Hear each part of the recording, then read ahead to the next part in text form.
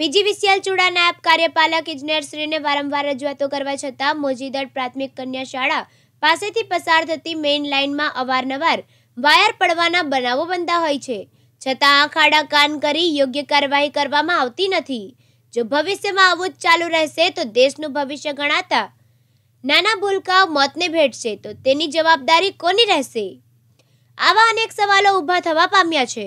છેલ્લા ઘણા સમયથી ચૂડા જીવીસીએલ કચેરીમાં આવતા ગામડાઓમાં મોતના અનેક બનાવો બન્યા છે. છતાં પરિસ્થિતિ ઠેરની ઠેર હોય તેવા દ્રશ્યો સામે આવી રહ્યા છે.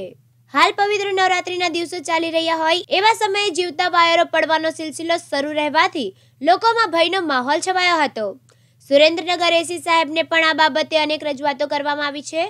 છતાં નક્કર પગલાં ભરવામાં આવ્યા નથી. તંત્રની ઘોર બેદરકારીથી કેટલા મોત થશે અને ક્યારે અટક છે તે જોવાનું રહ્યું. હું હિંમતભાઈ અંજારા, મોજીદર કન્યા શાળાના પ્રિન્સિપાલ સાહેબ બોલું છું.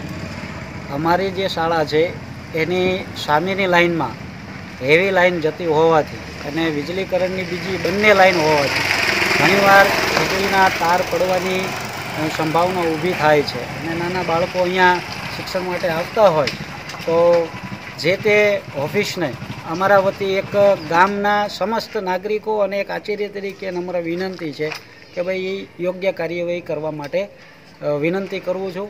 અને ત્વરિત ટૂંકા સમયની અંદર ચોમાસાની સિઝન પૂર્ણ થવા આવી છે, તો હવે પછી કોઈ ભવિષ્યમાં કોઈ બીના ન બને, તાર પડવાથી આકસ્મિક કોઈ બાળકોને કોઈ નુકસાન ન થાય. અમારી શાળાનું જે બાળક અમારું ભવિષ્યનું નાગરિક છે, એના નુકસાન ન થાય. તો એવા પ્રયત્ન સાથે અમારી બધાની રજૂઆત છે, તો એનું યોગ્ય નિવારણ કરવા નમ્ર અરજ છે. મહિપત મેટાલિયા દિવ્યાંગ ન્યૂઝ લીંબડી ચુડા સુરેન્દ્રનગર